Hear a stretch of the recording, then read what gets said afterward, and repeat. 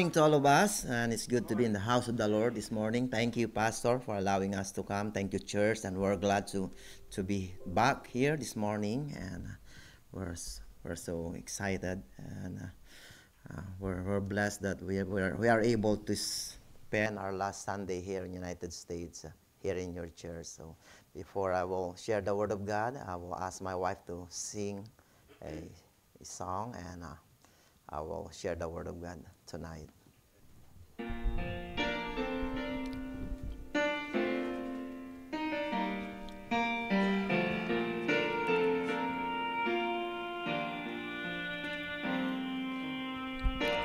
Every day they pass me by. I can see it in their eyes. Empty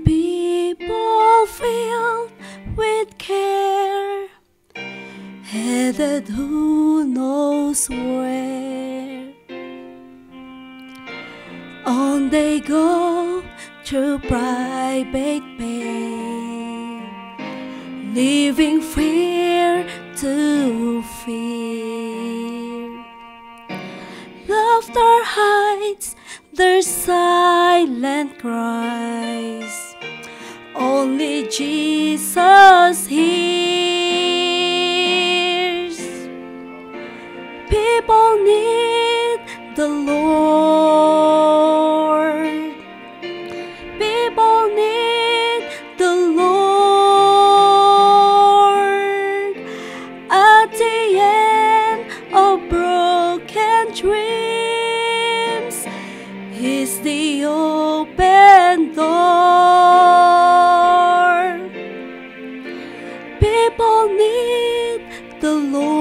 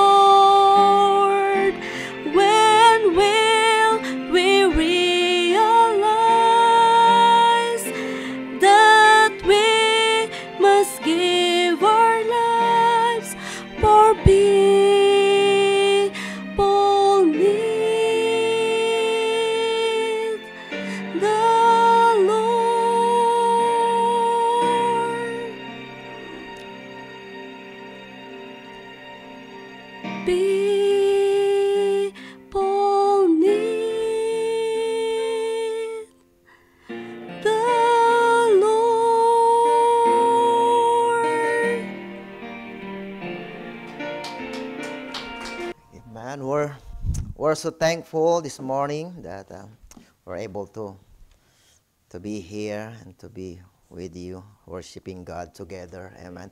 And uh, I just really thank the Lord, want to thank the Lord for His faithfulness, for His goodness in our life.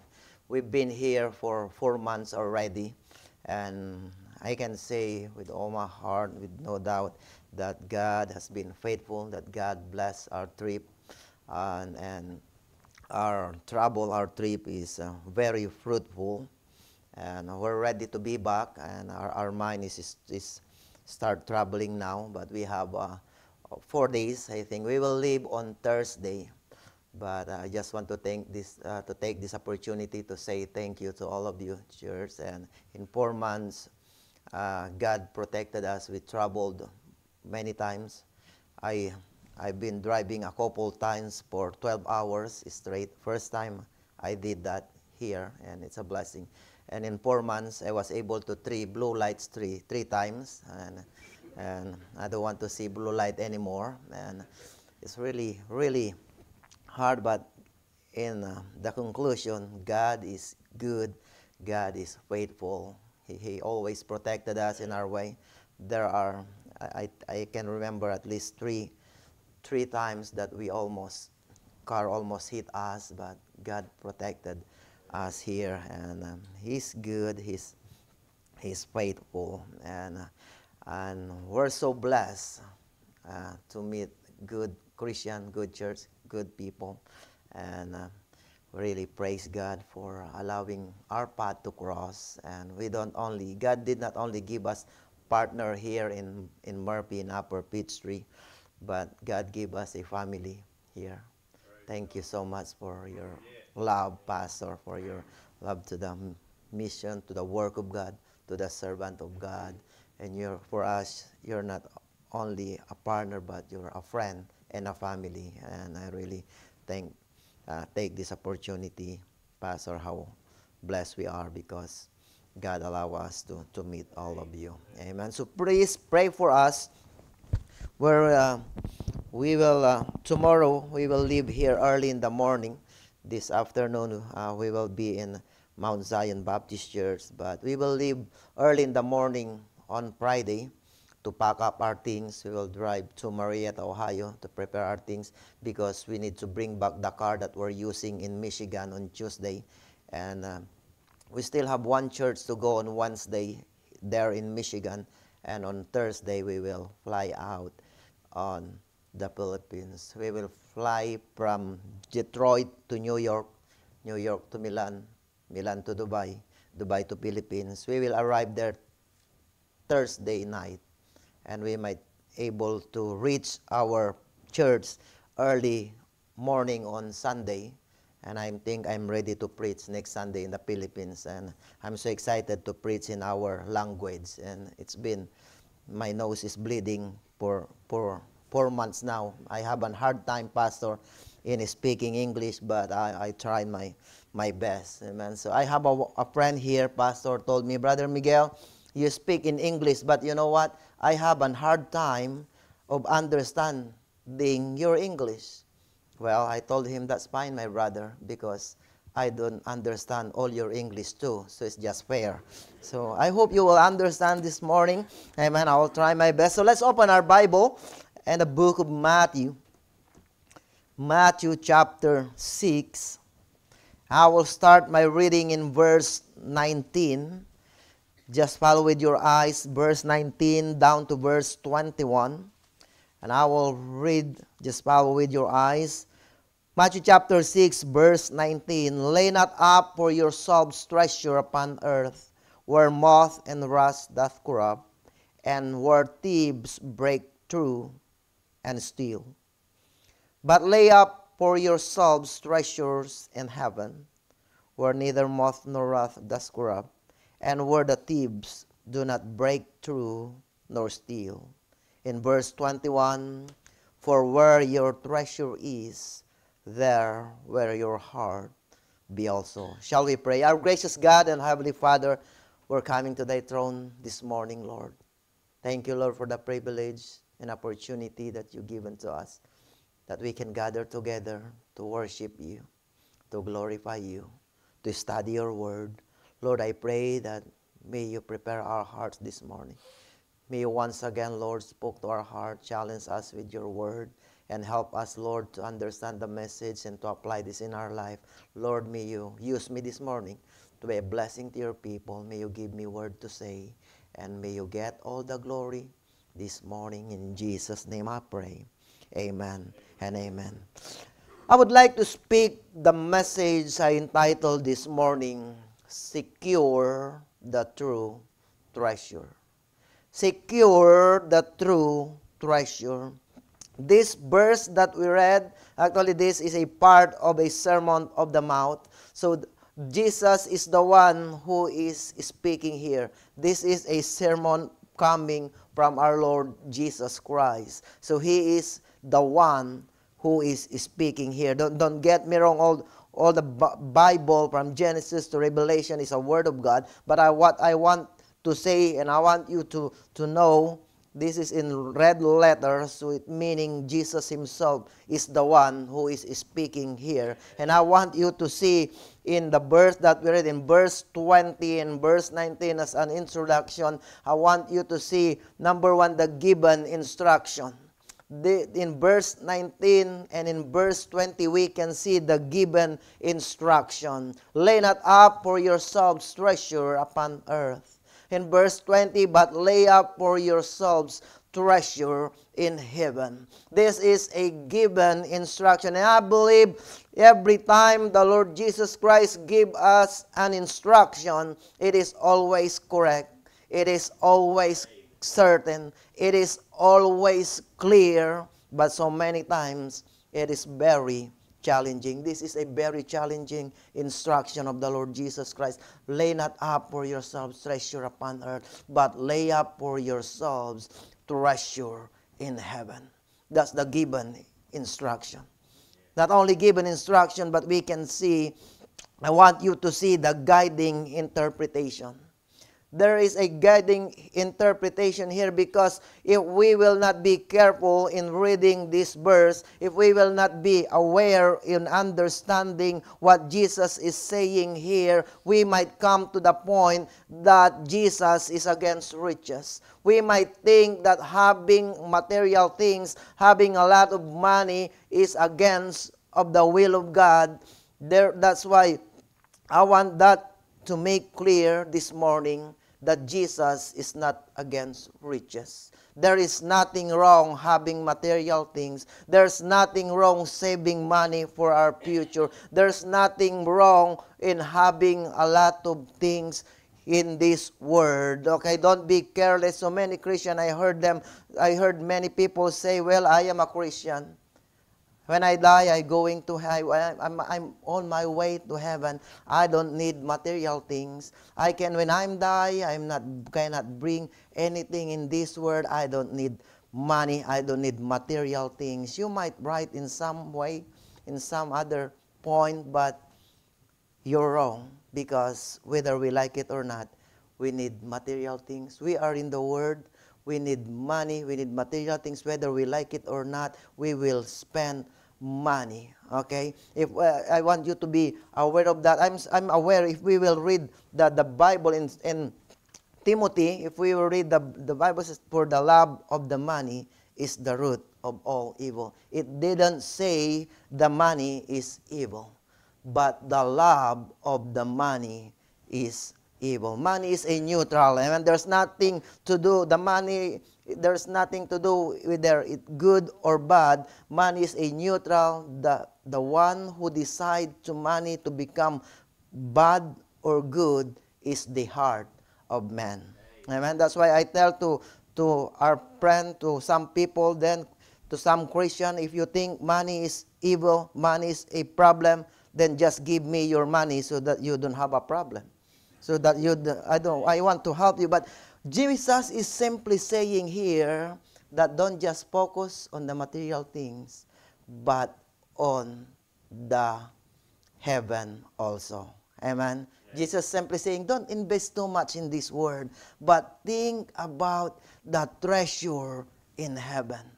And a good example of that is we can find in Luke chapter 12. I just want you to, to read Luke chapter 12 in verse 16 to verse 21 and And I will read you. We, we know the story, but but I want you to to see or to I will read and just follow with your eyes.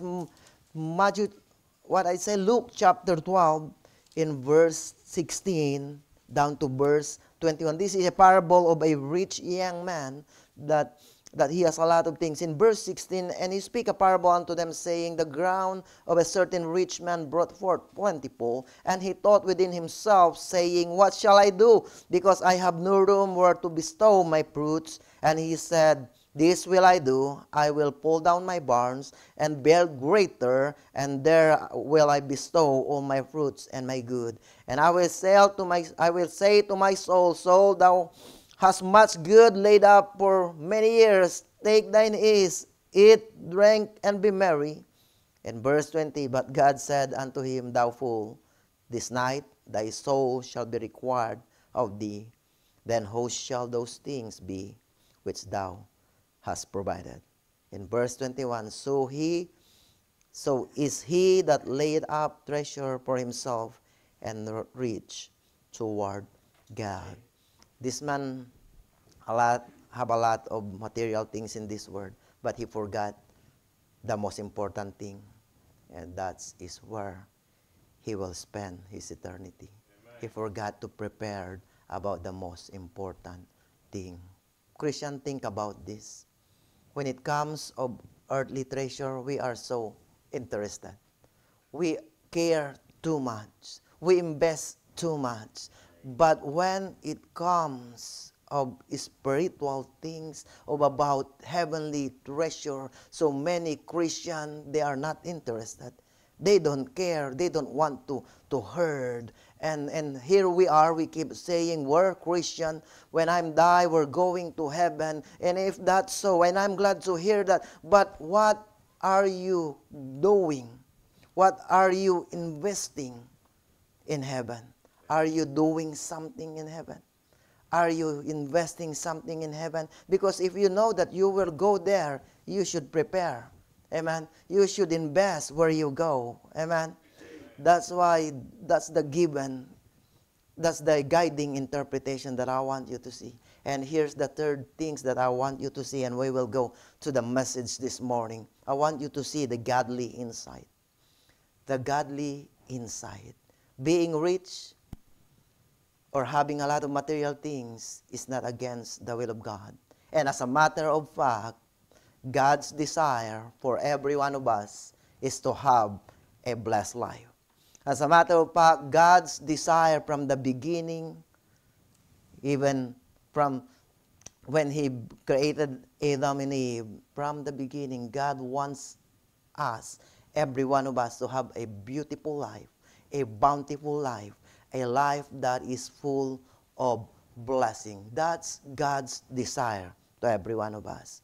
And you read, you study from the Old Testament, there are many people who serve God faithfully. That's why God blessed them so much. No wonder God blessed Abraham. You read the, the studies the life of Job, God bless Job. Actually, he's the, the richest man that live in their area. God bless King Solomon. Amen. Because that's what God's desire for you and I. Amen. And, and we read John chapter 10, verse 10, that, that, I, that I am come that they might have life and that they might have it more abundantly. God wants us to live a better life, a best life.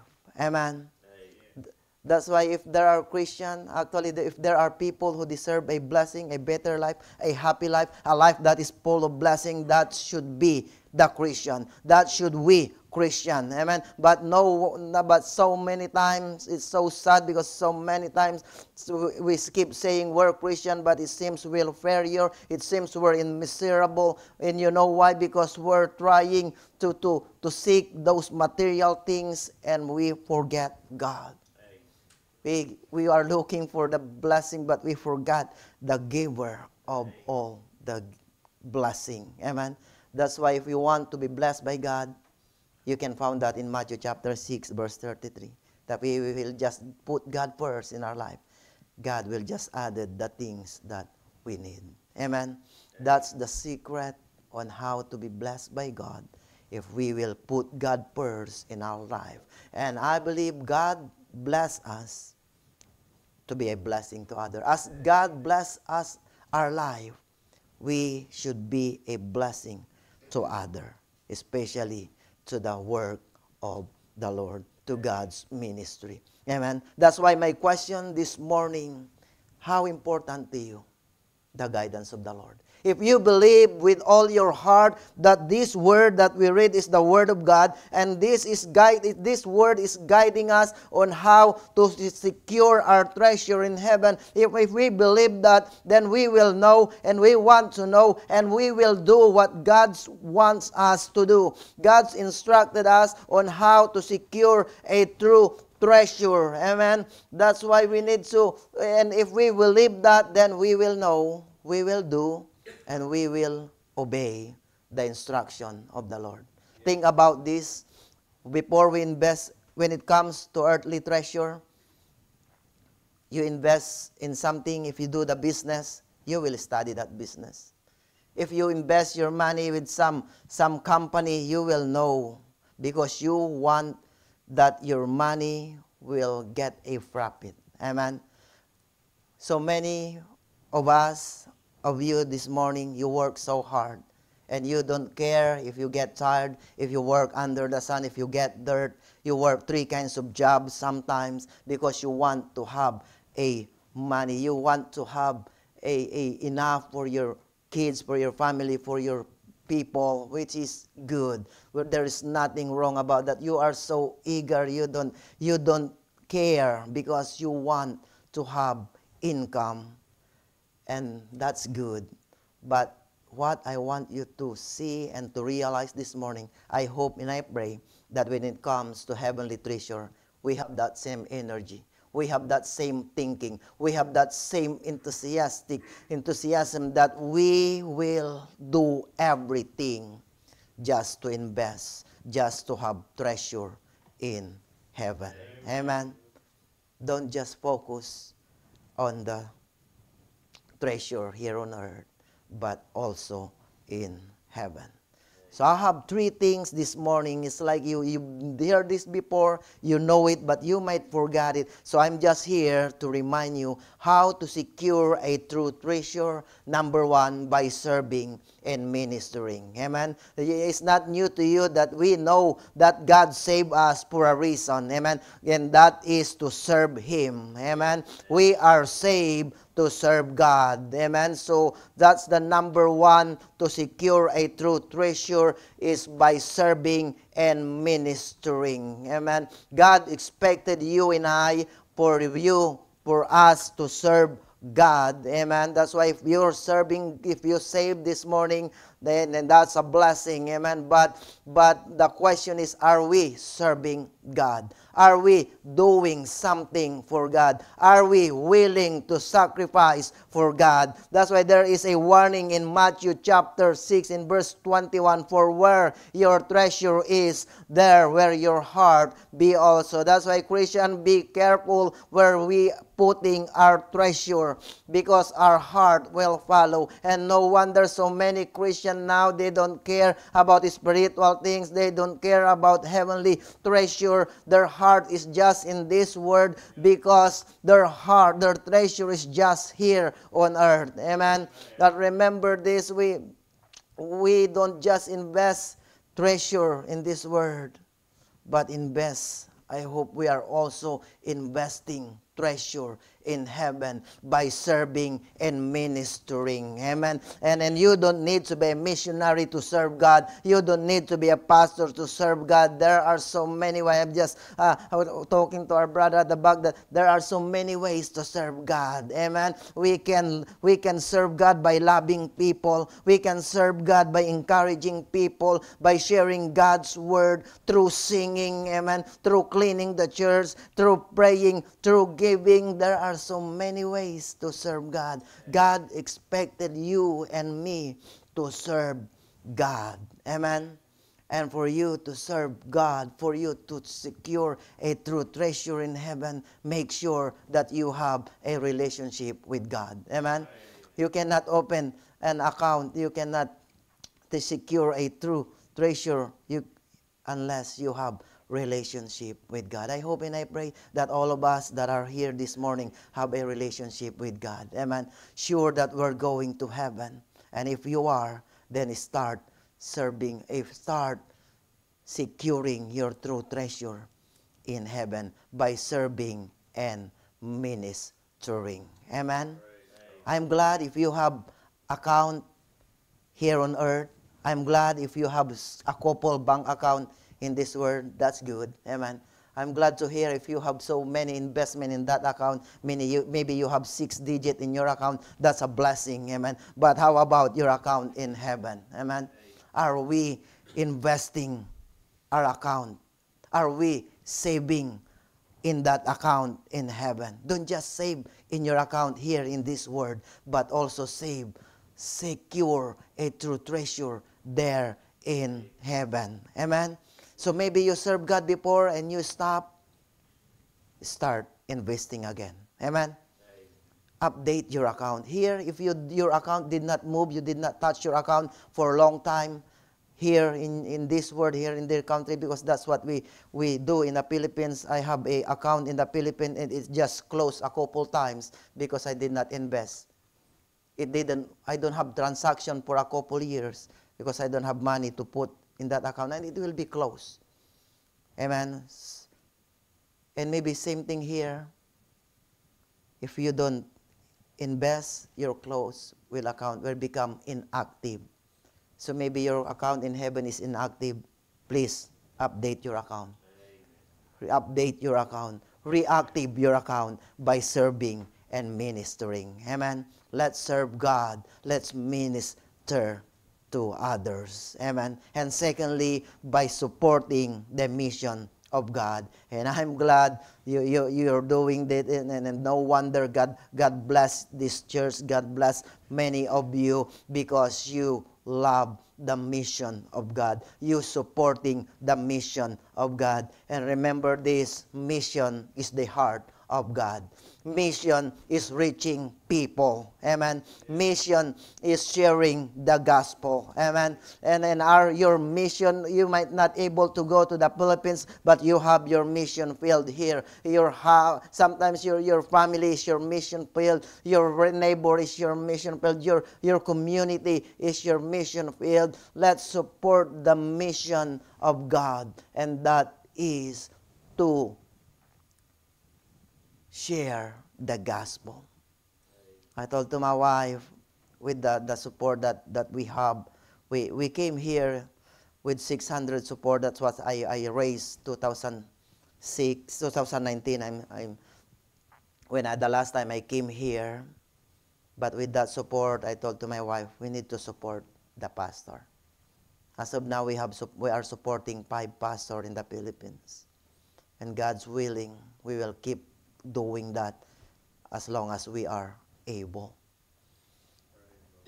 I remember when Paul got saved, his heart, he became a mission-minded Christian. We know the background of Paul, but when, when Paul encountered God, when Paul got saved, he became a great, actually he is a great missionary. He served God. He shared the gospel. He didn't take his own life because he believed that after God Paul but after Paul got saved he knows that the life that he's living is not him anymore but is for God.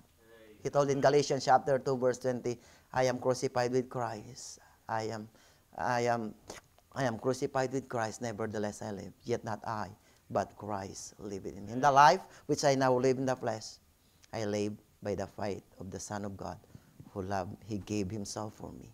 Amen. This is not our life. This is for God. We use it for God's glory, for God's ministry. Amen.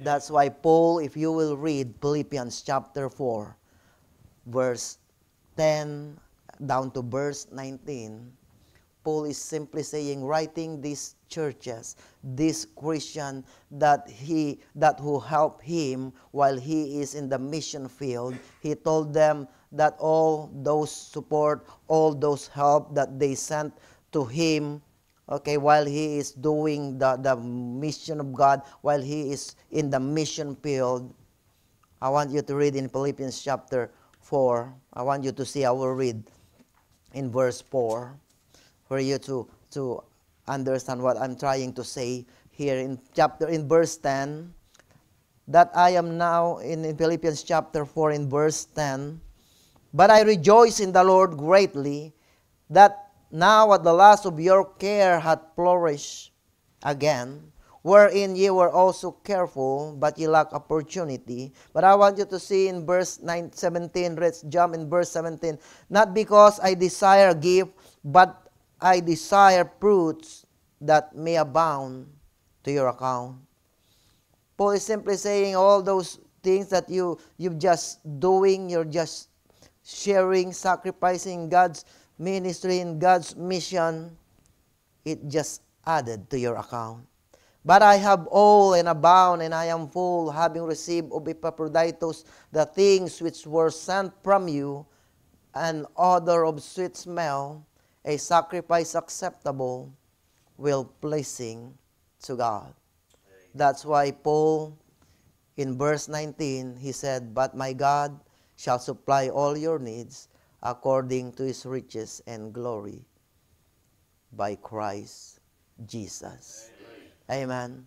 Your, your sacrifice, your support, your help in the mission of God, that is a sweet smell of God a, a sweet smell.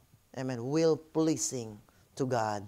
And Paul is simply saying in verse 19, I might not able to pay you back. I might not able to pay you in return. But the God that I am serving, He's the one who will bless you. He's the one who will pay back, who will put that account, eh, put that in your account. Amen. So, how to secure a true treasure in heaven? By supporting the mission of God. As a matter of fact, without the mission, no one of us are here this morning. Thank God there are people who came out, who stepped out of their comfort zone just to reach us, just, to share the Word of God to us, just to share us that good news. There are people who prayed for us. There are people who give us gospel tracts. There are people who, who visited us, who invited us to the church, and because they are concerned about us. They are obedient enough to do the mission of God, and that is to share the Word of God, the good news. Amen. And God, that's why we are here this morning. And I want to remind you, I want to tell it to every one of us that all our labor is not in vain. Amen.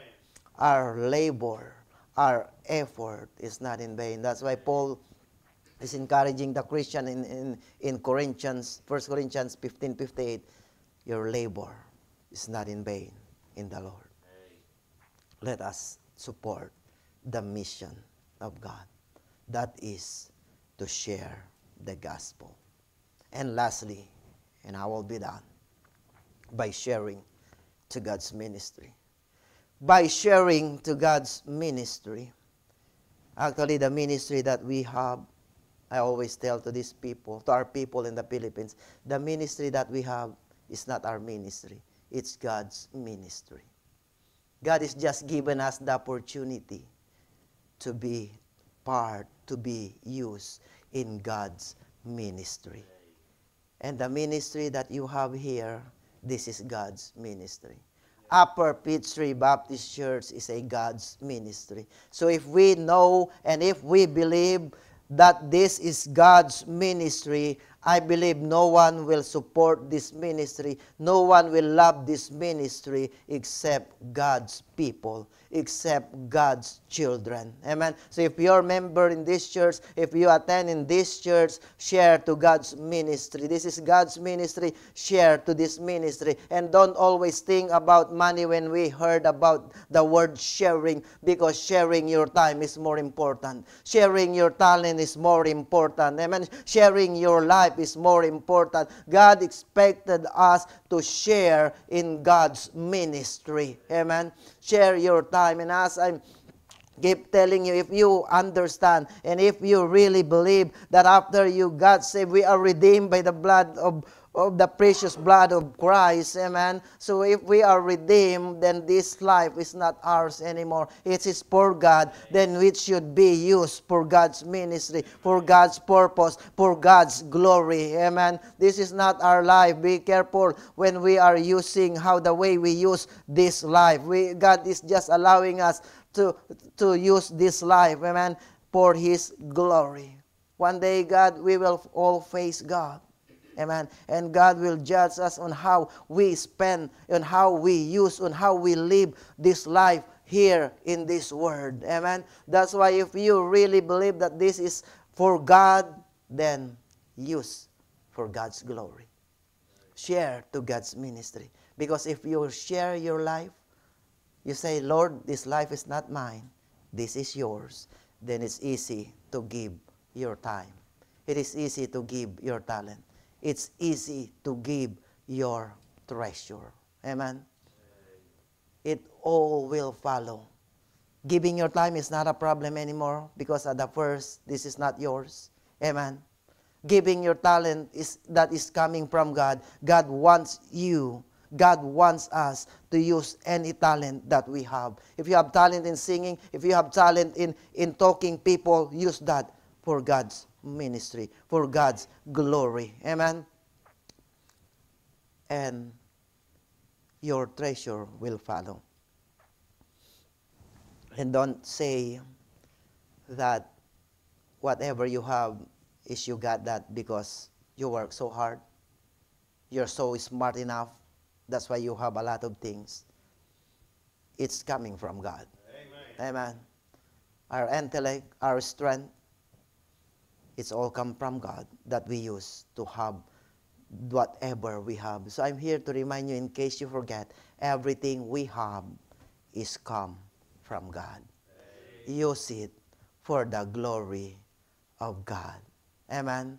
That's why if you if you give your life, giving is not a problem anymore.